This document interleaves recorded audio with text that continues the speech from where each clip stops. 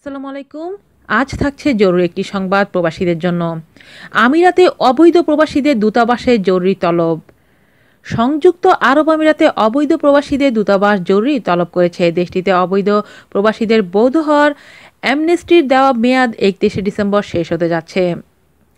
দেশ থেকে বেশ কিছু পাসপোর্ট এসেছে। জরুরি ভিত্তিতে এসব পাসপোর্ট প্রবাসীদের সংগ্রহ করতে বলা হয়েছে। সাতাইশ থেকে উনত্রিশে ডিসেম্বর পর্যন্ত নির্ধারিত সময়ের পরেও পাসপোর্ট ডেলিভারি দেওয়া হবে। তাই পাসপোর্ট গ্রহণের জন্য স্লিপ সহ অবৈধ অভিবাসীদের দূতাবাসে যোগাযোগ করতে অনুরোধ করেছে রাষ্ট্রদূত।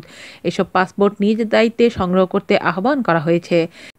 এছাড়া আমিরাতের অবৈধ অভিবাসীরা ডেমো ও পুলিশ ভেরিফিকেশন সংক্রান্ত জটিলতার জন্য যারা এখনও পাসপোর্ট হাতে পায়নি, কিন্তু বৈধ হতে চান, তাদেরকে শনিবার দশটা থেকে বারোটার মধ্যে দুবাই কনসুলেট ও আবুধাবি দূতাবাসে আসার বিশেষ অনুরোধ করা হয়েছে।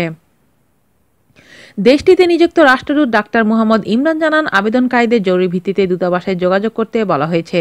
বেশ কিছু পাসপোর্ট আমাদের কাছে এসেছে। এসব পাসপোর্ট বিতরণের জন্য দূতাবাস ও কনসুলেট সবসময় প্রবাসীদের পাশে থাকবে। গত পহেলা আগস্ট থেকে একত্রিশে অক্টোবর পর্যন্ত সাধারণ ক্ষমার মেয়াদ ছিল। এই সময়ের মধ্যে অবৈধ প্রবাসীদের আবেদন করতে বলা হয়। দ্বিতীয় দফায় পয়লা ডিসেম্বর পর্যন্ত ক্ষমার মেয়াদ বাড়ানো হয়। আজ এ পর্যন্তই। আল্লাহ হাফেজ।